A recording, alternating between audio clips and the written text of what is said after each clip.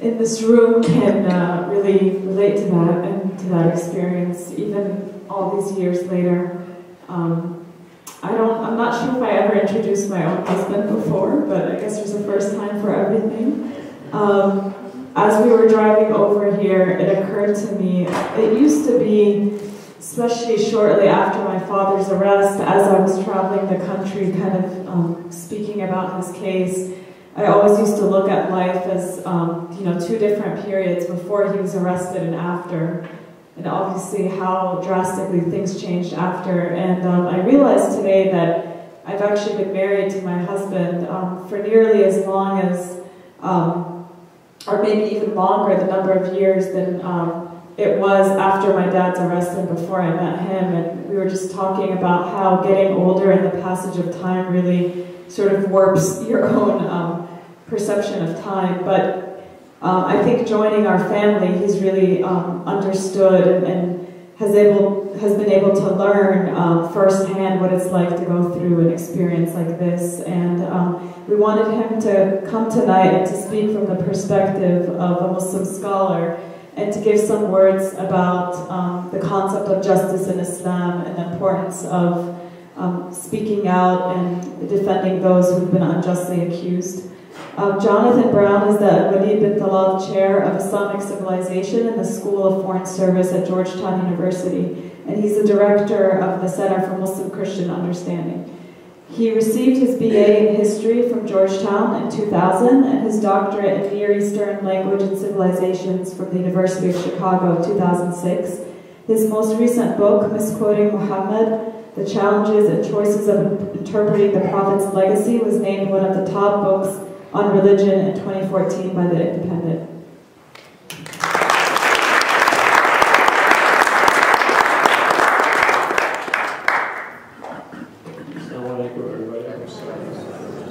risk of upsetting my wife, I'm actually not going to talk about any of that. I had originally a really good joke, but uh, I feel just terrible now. Um, I was going to say that they brought me because it was be an all non-white male? Oh, that's a pretty good joke. Anyway, um, yeah, it's. Uh, I guess I would actually say that um, the reason I'm here speaking is because I'm actually kind of like your target audience. Um, people sometimes who meet me here and they say, "Oh, Professor Brown, you really have such good politics." so courageous, and that's just complete, you know, horseradish. I remember one of the first discussions I had with Layla's dad, it was about, you know, I was saying Ronald Reagan was the greatest president. he was uh, not, he didn't agree with me on that. Um, I think we were already married, otherwise maybe he wouldn't have uh, agreed to marry her. Um, but my point is that, uh, you know, uh, if you told me, um, well, let's say when we got married in 2010, if you told me in 2010 all the stuff that you've heard today, uh, I just wouldn't have believed you. I would say, no, this, is the United States. That's like other, you know, that like, you know, Saudi consulate, whatever, other countries, they do this stuff. It doesn't happen here. No, doesn't happen. Stuff doesn't happen here. Um, and when you realize it does happen here, it really, it really pisses people off. I mean, it really, um, very quickly outrages people when they really get what's happening, right? when you really make them understand. Um, it doesn't take long for someone to start seeing things differently. And uh, a lot of times when I, whenever I read these testimonies or think about a lot of you know my, my family, I, I usually just feel a lot of shame because when I when Layla's dad was arrested, I don't know if I, I think I've told you this before, but if not, it'll be an interesting evening. Um, the, you know, I, when um, he, was arrested, one of my friends, another Muslim guy, he's in law school, and he, uh, we were talking about the case, and um, this is long before I knew it. Um, he said, that, "Oh, I read the charges. He's definitely guilty." You know, and uh, it wasn't until I talked to his dad and understood how the government works that the stuff they say you did when they announced your indictment is not even they think you did that. They know they can't prove this stuff. They'll say, oh, he eh, you know, ate five babies and punched 10 homeless people and killed 50 puppies and did all this stuff. And they know it's not true, it doesn't matter. They just later they just superseded another indictment. But they just put this out there in the media, and what people do, they just accept it. I just accepted it. My lawyer friend just accepted it. And uh, when I realized how this works, it's actually really liberating because I just don't believe anything the government says about people at all. And by the way, that's your constitutional common law obligation as well because it's their obligation to prove someone's guilty, not your obligation to believe the government when they say something about something. Right? Um, so, uh, I actually um, am optimistic, very optimistic, because, uh, you know, until, when was the Ferguson thing, like 2014? Until, this is really embarrassing. Until, if you told me in 2014, like, that the police in America just shoot black, young black men for no reason, I was like, that's not true, it's ridiculous. No, I'm sure they did something wrong, but obviously you're criminal or something. I mean, you would just shoot somebody for no reason. That, that doesn't happen in this country, it happens in other countries. And I think it was maybe after like the 20th video or whatever that happening, I realized actually this does happen, right? And um, mind you, I'm Muslim. I've been Muslim for over 20 years or something. And family, you know, my family is Layla's family. So I, I know about, it's not like I'm unaware of this stuff. But I didn't understand what happened to young black men until I saw God knows how many of these videos. Now, the reason why it makes me optimistic is because all you need to do is to have people be skeptical of their government. Which is, by the way, exactly what Americans are supposed to do. I mean, we don't have to read much about the American Revolution, the Constitution, everything to realize that you know, questioning the, the right of others to hold authority over us and to have their, the government have their way with us is, uh, uh, you know, part of American political rights. So we, you know, a lot of times, I think this one scholar, Arun Kundnani, he wrote, you know, that the, the war on American, on, on Muslim civil liberties, not on civil liberties, the war on Muslim civil liberties in America was started by George W. Bush. It was made legal by Barack Obama, but I'm actually very optimistic that it's going to sort of uh, peak and then start to on its downslope under Donald Trump. Because, you know, when you were doing, during Obama years, God knows what it was like during the Bush time. During Obama years, you know, we, I always felt really stressed out about my father-in-law, Layla's name, um, the fact that there's all these FBI cars sitting outside our house all the time, running their stupid engines constantly, um, like me shoveling snow or mowing the lawn uh, next to them. But uh, I always felt this was, oh, I felt ashamed by this and nervous. And, and uh, now, like, this is just uh, kind of gives me street cred. You know, I mean, this is the kind of stuff, this is like the, the currency of, of resistance in Trump's America. I mean, now people believe you when you say uh, somebody got killed for no reason. You, people believe you when you say this person was targeted by unfair government policies. People go to the airport when they hear about this Muslim ban, right? Um, this is a big difference. And I mean, it's sort of unfortunate that it has to happen because our president's like a, you know, xenophobic ass. But I mean, you know, that's a, one of the upsides of this is that anybody doesn't like the Trump administration is very happy now to listen to Muslims in a way that they wouldn't have before. So you know, now is the time that we really need to, to try and communicate to all the other Jonathan Browns out there and Jonathan Et, female version of me or whatever, you know, communicate to them, uh, communicate to them uh, what we have to say what someone like me has learned about how uh, the time, it's time now to really try and maybe turn back the clock or uh, dial back a lot of these measures and to release some of these people from the insanely unfair and unjust and totally baseless sentences that they've received. Just let them look at.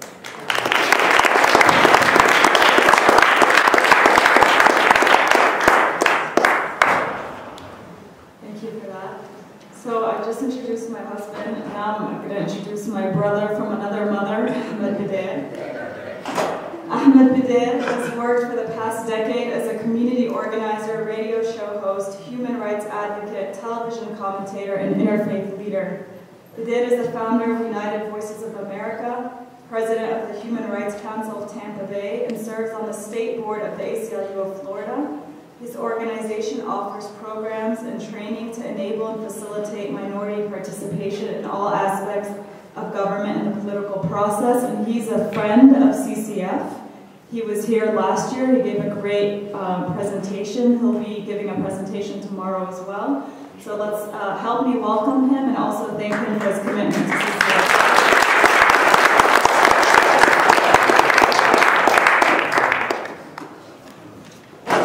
Thank you, Layla. Let's give Layla a big round of applause.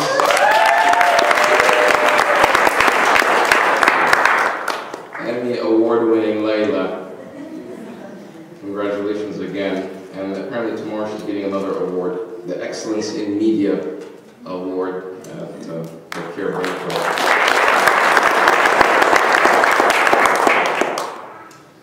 So, um, you know, I came to this conference, this is my third time attending this conference. Uh, I did come last year and, you know, I gave a presentation, and every time I come, um, you know, and on one hand, it's sad to hear the stories. You know, we shouldn't have this conference. If we lived in a perfect world, there wouldn't be a need for CCF, there wouldn't be a need for the support group, there wouldn't be a need for the families of the forgotten. But the reality is we live in America. And America does have this history of mistreating different segments of their populations at different times. It's happened to people before us, and it's happening us you know, now. And for the most part, it's been people of color. So there's a stain on our American history. When people talk about American ex uh, exceptionalism, they neglect to mention all the atrocities of how America treated its most vulnerable people. And we continue, when we see the racial disparities and uh, racial inequalities and uh, uh, issues dealing um, with racial injustice, it's a, you know, what we inherited from our past of slavery and just mistreating non-whites. You know, and I know it's been mentioned that we live in a challenging time under President Trump, but it's also been mentioned it's a time of opportunity. We heard about the Muslim ban and how all these people flocked to the airports. Had that Muslim ban happened under Obama, people would not be going to the airports. The people didn't have a, a change of heart about Muslims, the people had a change of heart about Trump. So they're, they're anti-Trump more than pro-Muslim they're not Muslim-loving white liberals. They're just Trump-hating white liberals. and so the reality is our condition and the issues and the cause that we're advocating for eh, is not going to change based on who's in the White House. It's not going to change because of Trump or Obama or Hillary or even Bernie Sanders, who I admire. And I was a delegate for at the Democratic National Convention. But even if he was in office, things would not change for our community. Why? Because people will never change our condition, just like the Quran says. And I'm not the scholar, you know, Jonathan Brown isn't, he didn't mention the scholarship. But just this part about that God promises in the Quran, it's like a, a law in our faith that says God will never change the condition of a people until they change themselves. The reality that we're living today is not, it, you know, a lot of it has to do because of our own community. Things have not changed for the black community because white people decided, hey, we're just being mean to you let's just give you your rights, right? They had to go fight for their rights. They had to demand their rights. And sure, some white people joined, but they had to start it. Nobody did it for them. They had to have leaders like Malcolm X and Martin Luther King and the Black Panthers and others. Some of them were more radical than others. But a combination of that brought some progress. But even despite all of that, you can still see the injustice that's happening today, where black people are getting murdered on the streets. by police officers. You're not talking about, you know, by the KKK. Some of these people that used to be in the KKK just put on police uniforms and started using their badges to kill black people, but they're still accomplishing the same thing. Not to say and generalize that all police officers are bad, but there are definitely a lot of racists that are joining these police forces so they can legalize their killings and brutality against black people. We're seeing it. We're seeing it not because we have cameras, we have phones. It's being documented. It's always been happening. We just didn't believe it. People, American white liberals, are not getting serious about gun violence because gun violence didn't exist before, but now because white kids are getting killed, so they're getting serious about it. When it starts impacting their own selves is when they start waking up, and because it's happening to Muslims, they don't care. But what's even worse is when Muslims don't care themselves. So when we talk about forgotten, it's not because the main major society, the majority, and the white people just forgot about these families and these people in cages. It's because the Muslims themselves have forgotten about them, and if the Muslims don't care about these families and these cases, then how do we expect the rest of society to care? And for law enforcement, for the FBI, we're sitting ducks. We're, we're easy scapegoats. You can go after these people and they won't fight back. They'll just cave in. We'll put so many resources against them, they don't have the money and they have to cut a plea. And when they cut a plea, they win. And they turn a normal case of whether it's whatever it may be, they add terrorism enhancements, and all of a sudden they have another terrorism case that they scored. So they can justify their big budgets when they go in front of Congress and say, look at the hundreds of terrorism cases and terrorists that we, we, you know, we stopped. Without mentioning, of course, that half of them were fabricated, or more than half of them were fabricated by them in made-for-TV type scenarios like we saw in Albany, and we see in the Brooklyn, Miami, all over this country. Vulnerable individuals, many of them have mental illnesses or weak people, are getting entrapped left and right with fake plots. And when they find vulnerable people, instead of bringing them back to sanity, they push them over the edge to become insane. Where they put them under scrutiny and they monitor them around the clock, and they know their vulnerabilities, they're spying on them. They know where their weaknesses are.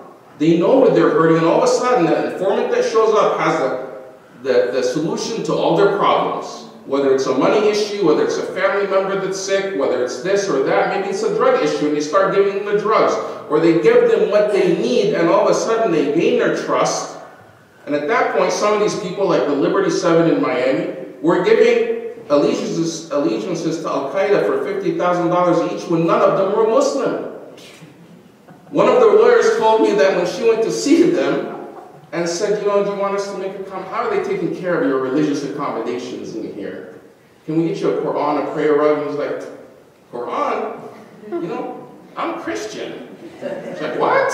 They calling you a jihadi that you're loyal to Al Qaeda. Like, I'm, I'm, I was just saying that to get the $15,000. And for some of these people that were in the inner city in the Liberty 7 situation, they were just trying to clean up their hood. They thought there was a lot of gangs and they had to kind of be militant and radical and just, you know, kind of like protect the neighborhood kind of people. And these people preyed on them. And they end up, in the first time they were, you know, uh, they couldn't convict them and they had a second shot and they convicted them. But when we look at these cases, and as soon as somebody's arrested in the Muslim community and the Muslim community runs as the first to run, that's the problem. When you go to these cases and the courtroom is empty and there are no Muslims there watching, the judge could do whatever they want. Well, these, these people don't have anyone backing them up, so why should I care? Nobody's watching me. Earlier this year, or uh, last year, I got a phone call from um, a, um, an attorney that says I have a client that has a big trial coming up. There's a lot of misinformation about the case in the local media and around the country. And we need some help to, um, to dispel some of this misinformation because the FBI has been lying and leaking information that's false to incriminate our client. And who's the client? It was the wife of the Orlando shooter. One of the worst mass killings in American history on a gay nightclub in Orlando. We heard about it, the Pulse nightclub, and I live in Florida. Of course, when I got this phone call, of course, there was some reluctance. you know, I don't want to be associated with this case. You know, who's going to go and try to get involved in this? Why? Even if I believe she's innocent, obviously there are consequences to stepping up and putting your neck out there. And I don't know this person, I don't know this woman. Uh, but the more I learned about it, the more I, you know, discovered that they, you know, did her wrong. And of course, the lawyers and CCF, you know, appealed to my emotions because, you know, they're good at that. And, and my values and principles. And I did get involved in it to try to change some of the narrative that was happening locally because we've heard all these things. We heard that the guy was gay. We heard that he was having, you know, he had frequented this nightclub. We heard that they had gone there together, him and his wife, to scope out the club before they did this mass shooting. That he wanted to punish these people for being gay, you know, uh, for ISIS and other things. All of these things turned out to be false, that they weren't being reported in the media because the only side that was leaking information was the FBI. The family didn't have any way to leak anything. And the family was just one woman. But what she did and what her defense team did is a textbook example of what we should all do when the government comes after us. One, don't give in and don't admit guilt when you did nothing wrong. And that was the first step. And second, make sure you have a good legal team. You don't accept these public defenders. Many of them are good, but they don't have the resources or they don't have the expertise. Because, you know, the American justice system is not uh, equality. It's not just a fair fight. The American justice system is like two boxers in a boxing ring with a referee. The judge is a referee. So, would you go up into a fight against Khabib Or, you know, McGregor, O'Connor, O'Connor, McGregor. You know, you don't have the skills and you just never even went in the courtroom before. You have to have the best fighter that can go head to head with the prosecutors. And for that, you're gonna have you're not gonna get these guys for cheap. Right? If you want if you want to go against the government, you have to have like the King James or the LeBron James on your courts. Somebody that can dunk on them every day and at the end defeat them. Because the judge is not going to break and say, hey, wait a minute, guys, you prosecute, you're playing dirty. Right? They'll get away with it as long as the other side can check them. So in this situation, the prosecutors were playing really dirty. And they had a confession. Fortunately, it was a confession that made, was made to the FBI and not to the Saudis. Because the confession made to the FBI, there's some, you know, you can at least have a chance to to fight back. As unfortunately we learned with the Jamal, the Saudis play by different rules. And sadly, it's a shame that these Saudis call themselves Muslim. If I had a, you know, a situation where I want to be on trial, I would choose this in, America, in Trump's America a thousand times before I ever trust, you know, Mohammed bin Salman, Saudi Arabia. I don't care if he's a custodian or they're the custodians of the Holy Mosque, no way. And that's the reality that we live in now. Just because somebody has a Muslim label does not mean you're going to be safe. So back to Noor Salman. They had a confession. She wrote a confession within hours of the murder of these people that she assisted her husband in, you know, this plan to kill these people. And they took months after it, and, and, and the thing that struck me was this, even though she gave this confession, they let her walk free. She just admitted that she was uh, you know, an accomplice in this crime. Why would you let her go? And they let her go for seven months. In fact, they allowed her to move from Florida to California. Now, that's suspicious. It wasn't until in the final days of the Obama administration, two days before the inauguration of Trump, that they arrest her. And they put her in solitary confinement for months and charged her with being aiding and abetting, basically the exact same crime as if she shot all those people. What we found out later is that the FBI had lied. That the, hand, the handwritten confession was written by in the hands of the FBI agent, that she was never given you know, uh, rights to a lawyer, and in fact, it was after you know, uh, a lot of pressure. And the FBI found out within days of that confession that half the confession was false based on forensic evidence. For example, in the confession, she said she and her husband drove by the nightclub. Well, the forensic evidence of the cell phones, because the cell phones, you have the cell phone data, which they pulled all the cell phone data they didn't put her anywhere near the nightclub ever. In fact, neither of them have ever been near that nightclub ever before. What we found out in trial that he didn't even know the Pulse nightclub ever existed. That he shows the Pulse nightclub minutes before he showed up and started shooting people, and it was his third target that night. After the first two targets that he went to, he failed to get in because they had heavy security, where the Pulse nightclub had almost no security, so it was easy for him to get in. How do we know that? Because of his GPS and the commands he put on his cell phone. In his cell phone, when he first tried to go to Disney and tried to do the shooting there, the Disney cameras showed this guy going around and trying to get in. And there's heavy police presence, so he left. He waited around Disney for a couple of hours, eventually left. What did he do when he went back to his car in the parking lot of Disney? He, he Googled downtown nightclubs. He didn't Google Pulse nightclub. He didn't Google gay nightclubs. He Googled downtown nightclubs. The first one that came up was Club Eve, which is in downtown Orlando. He drove by Club Eve. A lot of people there. It was packed, but there's a lot of police outside. He couldn't walk in with his weapons. So he again went back to his car and Googled nightclubs again. The second option on there was Pulse nightclub. He tried it, he started driving towards Pulse. The GPS shows you exactly where he goes. They showed this all in trial. But in order to defend yourself, you have to have the team and the money to be able to hire these experts to be able to, you know, do the forensic evidence on the phones. If you don't have the money, you can't do it. You can't prove your innocence. He went by by club by the night the Pulse nightclub, and guess what? He had a change of heart. He started going back to Club Eve. Then he Googled again for directions to Pulse. He went back to Pulse. He parked on the side, walked in with all his weapons. The guy at the door asked. He asked the guy at the door to show you as proof that he did not know that this is a gay club. He asked the guy at the, at the door, "Where are all the girls?" Where are all the girls?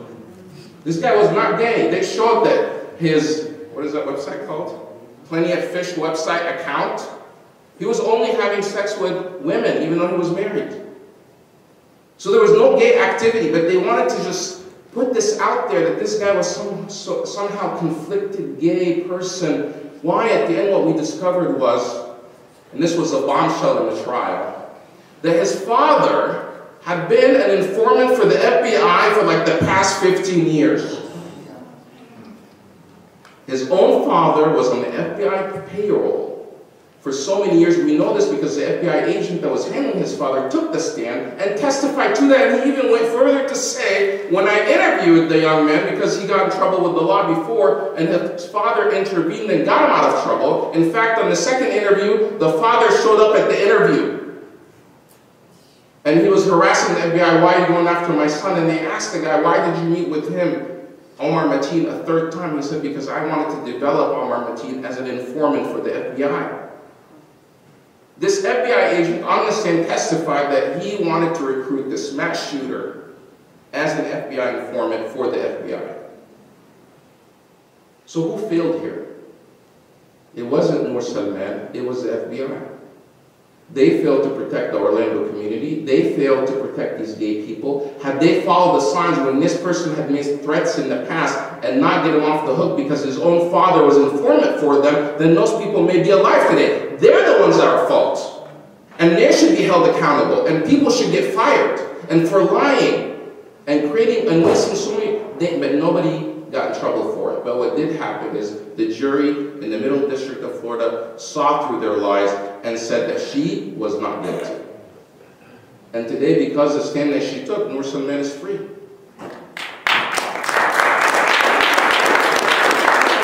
We say this because it's important that one, you don't give in. And two, you have to rally support. And make sure that your friends, Muslim and others, are there. And you challenge the government narrative. And you, we're not going to be afraid of them. In America, we still have some rights. They're counting on our fear. They're counting that we're not going to show up. And I remember just going to trial. And the first couple of days, I was the only Muslim there. And Mel Underbaki. Mel, are you Muslim? No, you're not Muslim. I have questions about you. I think you might be a closet Muslim. She's hanging out with Muslims all the time. Ashley, we're not sure about you. We'll take the shahada after this, okay? But, you know, God bless her. Mel was there holding the sign that's outside, fair trial, just like she was outside for the Semi Al case. And with all these terrorism trials, I think there was like, since 9-11, there's been like three or four wins. Two of them, or three of, three of them came from the middle district of Florida where I live. So if you want to get in trouble, get on trial, go to the middle district of Florida. Let's give our district a round of applause. Defeated the government narrative three times. But a lot of it is based on the community relations we have built with people who are not just Muslim, but people the, uh, who are also from the other faith community that are standing up. We had, we went and visited church leaders. We went and even visited the gay community. We went to the big, and they were uncomfortable with our conversation when we started to say things like, he was not targeting gay people. That was difficult for some of them to hear. Because for months, there was so much emphasis on what happened, the attack on the biggest attack on gays in America. And many of them didn't want they shut the door on our face, some of them. But when the stuff started coming out, they knew we we're telling the truth. We went and visited faith leaders in the community, and they wrote some op-eds to say, you know what, let's not rush to judgment. So you have to mobilize. If you're going up against the most powerful government in the world and they're going after you, you can't just sit idle and make dua. You got to work hard and then go make dua. So we have to show up. We have to make sure that the rest of the community is not afraid. The narrative and things will change when we empower ourselves, one in the courts and politically. When we have strong political relations, we should demand from our senators to ask the hard questions of the FBI. Why are you continuing to do these things? They may not listen to us, but they care about budget, their budgets from members of Congress. Just like we're going to go on Monday and talk to members of Congress. That's very important. And you don't let them off, and you keep going back and telling your stories to these people. You get their business cards, and you build relationships with them. Let them internalize and understand where you're coming from. And then things will start changing. So, um, let's work together to make sure this happens. Have a great weekend. You're going to learn a lot. And uh, let's push back against these uh, politics of fear, and the scapegoating and the persecution that's happening within the community. Thank you very much.